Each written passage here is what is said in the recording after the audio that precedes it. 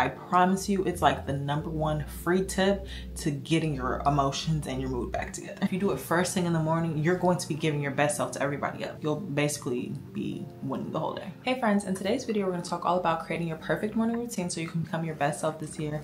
I personally believe that your morning routine literally sets the tone for your whole day essentially. Like if you want to be more functional more productive more successful just feel good about yourself i think that how you start your day is the most important. So we're just going to talk about some different tips to help you kind of formulate and build your morning routine. I also think that everybody's morning routine is based off of what they need and what's best for them.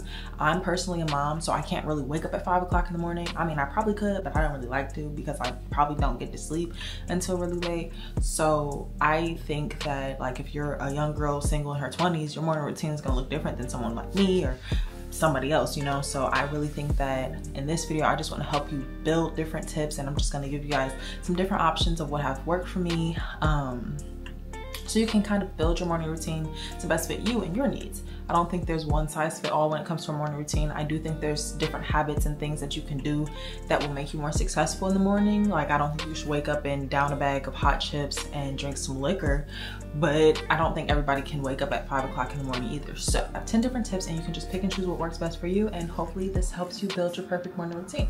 So without further ado, let's just get right into the video with number one, wake up at the same time every day. I think it's super, super important to wake up at the same time every day. Like I said, waking up at 5 a.m. is not for everybody.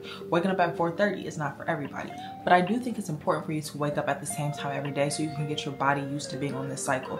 Say if you think, okay, I can wake up at six or I can wake up at seven, make sure you're waking up at six or seven every single day. And it'll be hard the first couple of days, but honestly, like a weekend, you're going to get used to just naturally waking up like that. Like you might not even need to set an alarm. So by waking up at the same time every day, I genuinely think that that is the perfect way to start. Number two, set your intentions for the day. I think when you first wake up, it's important to speak into the universe. I'm gonna have a great day today. My day is going to be good. I'm going to be productive. And just by speaking those positive words out to the air and out into the open, or if not speaking them, but like thinking them, I think that's gonna set the tone. We live our lives based off of what we think. We are the product of our thoughts and what we are putting out there is what we get back. So if we wake up, oh my god, it's Monday. I'm gonna have the worst day ever. Oh my gosh, I hate Mondays. Mondays aren't good for me. You're gonna have a bad Monday. I don't know. if you're thinking, I'm gonna have a bad day, today is crappy, I didn't sleep good, so I'm gonna have an awful day, then yes, you're gonna have an awful day because that's what you're saying, that's what you're believing. So everything that you do is going to feel awful. You're gonna get out of bed and you might trip. Oh, I knew it, it's a Monday. I'm, you brush your teeth and you might be out of toothpaste. Oh, it's Monday you're saying that you're putting this into the air so you're gonna find literally any little thing that feeds into that belief that mondays are the worst day or any day really. If you wake up on a like the wrong side of the bed if you wake up with a bad tone and on a bad note in a bad mood you're gonna have a bad day naturally. So i think it's important to set your intentions for the day and speak positively on your day. I'm gonna have a great day. Even if you feel awful i'm gonna have a great day today. It's gonna be a great day. I'm gonna be productive. I'm gonna be successful today. I'm gonna knock this out. I'm gonna do this. It's gonna be a great day. I feel energetic. Then you're gonna have a good day that's literally worked for me so many times. If you just force yourself to feel like it's gonna be a good day, you're gonna have a good day. I guarantee it. Three, get out your bed and don't get on your phone. When you wake up, the last thing you should be doing is getting on your phone. You do not need to get on your phone right away because you're not getting on your phone to do nothing normal. You're getting on your phone to check social media or check out what everybody else is doing. Get up and immediately get out your bed and don't touch your phone. You can touch your phone later. You can those work emails can um, wait, your text messages can wait, everything can wait. Get out of bed right away you hear that alarm, okay, up and at 'em, like, let's go. You could set your intentions for that and see something on social media. And even if you're trying to have a good day, you might see something that really, really, really drains you and you're feeding off of everybody else's energy or you're early comparing yourself to other people and it's just gonna make for a bad start to your day and it's kind of wasting time. It's not feeding into that whole, I'm doing this for me and I'm having a productive morning. So do not get on your phone first thing when you wake up. And if you just get out the bed, then it'll be easier to stay out of bed. If you wake up, hear that alarm, okay, I'm about to get out the bed, it's easier, you know? Four, I think it's super, super, super, super, super important, and this is something that I just started implementing into my morning routine, to get fresh air and sunlight within the first like 30 minutes to an hour after waking up. Even if you have to throw on a hoodie real quick or even put on your robe, go outside, take a couple deep breaths, get some sunlight. I think it's so important. I think that it helps regulate you, especially if you're waking up with the sun. I really think that it's good for your mental health, your physical health, because like I said, the deep breaths, like it helps your lungs and stuff. Just waking up and just being one with nature for a second, I think is super important. And I'll link something down below that I've seen like studies that show that it actually helps like with your mental health and stuff like that. So I think that's really important to implement into your routine if you can do such thing. And even if you like live in an apartment complex or something, go out on your balcony. Like it's literally just about getting that fresh air and the sunlight in. It's not like going for a whole run first thing in the morning. Like literally just for a few minutes soaking in that sunlight and taking deep breaths, getting some fresh air. It's really important. Number five, it's really important to stretch. Once you've gotten out of bed and either before or after, even during you're getting your sunlight, stretch. You would just sleep, you might sleep in the same position, or you might be a wild sleeper, or whatever the case may be. But regardless, you can stretch, stretch your arms, stretch your legs, a quick two minute stretch. I think it just feels good personally. I think just stretching, whether you're gonna work out or not, I think just stretching is good for anybody. You can just stretch your body out, relax, you know, shoulder exercises, stretch your arms, touch your toes, all that good stuff. I just think it feels good. Six, deep breathing. This is something that I do honestly multiple times a day because it calms me down. It helps my mood. It helps me relieve pressure and tension and just bad feelings. It's just a good, okay, let me take a second and just you know, some deep breaths. I think taking deep breaths is so essential. And honestly, it's not just for the morning, all throughout the day. If you're feeling some type of way, if you're angry, if you're upset, and you just need to come to, let me get back to myself moment, take some deep breaths. I promise you, it's like the number one free tip to getting your emotions and your mood back together. Seven, hydrate, drink some water. Keep some water by your bed, keep some water in your room, go down to the kitchen, get you some water, cold water, room temperature water, it really doesn't matter. Just drink some water. When you wake up, you've been asleep for what, six to nine hours or more?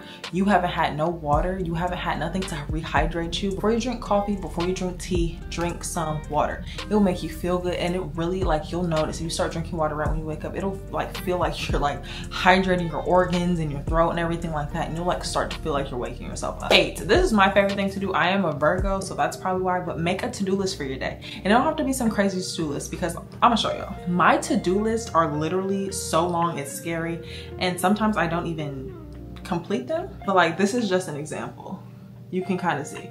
Like these are all the things on my to-do list and I'm still trying to find like the perfect way to make my to-do list where it's like manageable but still knocking things out. So that's kind of what that is right now. Like for today, I have different categories. So like for the house, for my partner, for my kids, for myself, for my business.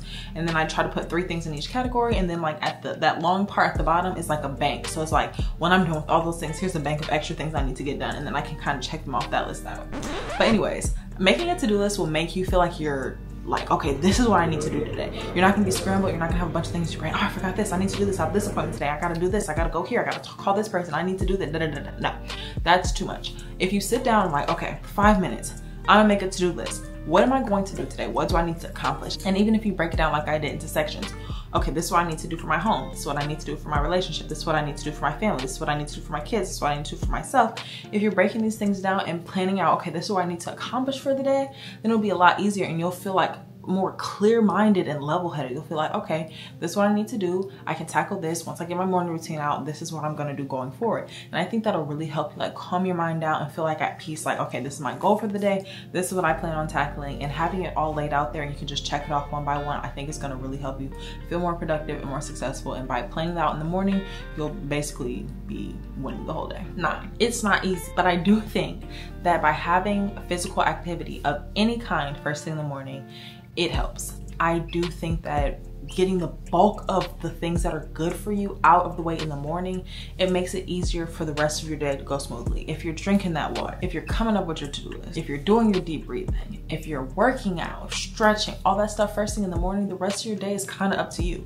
You have that to-do list, you know what you're gonna do, but if you're doing the most important things for yourself and catering to yourself and watering yourself first thing in the morning, you don't feel like at the end of the day, oh, I'm too drained to actually pour into myself. Just like you're pouring into work, your business, your relationship, your kids, your friends, you need to pour into yourself. And if you do it first thing in the morning, you're going to be giving your best self to everybody else. I noticed that I am my best self as a mom, as a girlfriend, as a sister, a daughter, as a entrepreneur, as a content creator when I take care of myself first thing in the morning. When I'm waking up early, when I'm drinking my water, I'm stretching, I have my whole routine, my whole thing down. I notice I perform better because I took time to water myself. You cannot pour from an empty cup. I don't know how many times I'm gonna say this in a video, but you cannot pour from an empty cup. I think that um, it's so, so, so important to make sure you're getting the bulk of this stuff done, you know, early in the morning. But with that being said, physical activity. I think that by doing yoga, Pilates, working out, literally anything, going on a quick walk, a jog, a run in the morning, if that's your thing, um, doing those things in the morning I think is super important and it'll make you feel good like you'll knock it out I personally don't like to work out on like a full stomach and I feel like after a day full of eating I'm not gonna work, want to work out at nighttime you know so I think by working out in the morning or just doing some type of physical activity like you're getting your blood rushing your heart pounding just you know staying active, all that good stuff. I think that's important to do in the morning. And number 10, I think it's really important after you've done all these things to have a healthy and nutritious breakfast. I think that by eating something healthy, something light, it'll give you that energy. They do say breakfast is the most important meal of the day. I personally, for a while, wasn't even eating breakfast because I don't really like breakfast food all that much. But I do think it's important to put something into your body, whether that be an apple and a granola bar, some almonds, piece of toast, some fruits, a smoothie, anything. I think that by eating something healthy first thing in the morning, you're just nourishing your body and you're giving yourself that energy you need. Like I said, I don't think you should eat chips and cookies and all that unhealthy stuff for breakfast. I really don't. I don't do that. I think it makes you feel sluggish. I don't think it's healthy. I don't think that's good for you. but I do think that it's important to eat something healthy in the morning when you're wrapping up your morning routine before you get ready for your day. Give yourself that energy, those nutrients that you need. I think that's really important. But yeah, those are my 10 tips. Like I said, pick what you want from it and discard what you don't. I do think that these can all be effective and helpful for anybody. I do think that they will make you more successful. I think that you will feel better by doing these things in the morning. But ultimately, like I said, your morning routine is what's best for you. These are just some things that I do. Sometimes I'm not perfect, but if I were to have a perfect morning routine, that's what it would look like. But I hope you guys enjoyed this video. And if you made it to the end, thank you so much for watching. As always, make sure you leave a thumbs up, comment, subscribe, and turn on your post notifications. And I will see you in the next video. Bye.